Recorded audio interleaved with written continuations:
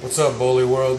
This is Nathan Leemon here, owner of the number one dog in ABKC right now, Grand Champion Castro, and I'm tuned in watching iBully TV. Believe that.